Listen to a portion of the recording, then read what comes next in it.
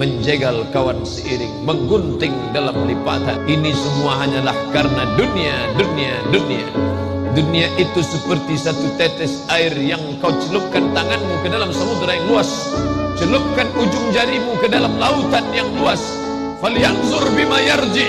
Pandang apa yang tinggal di ujung jarimu. Setetes, itulah dunia. Gara-gara setetes itu kau khianati sahabatmu. Gara-gara setetes itu kau katakan aib-aib. Padahal tidak.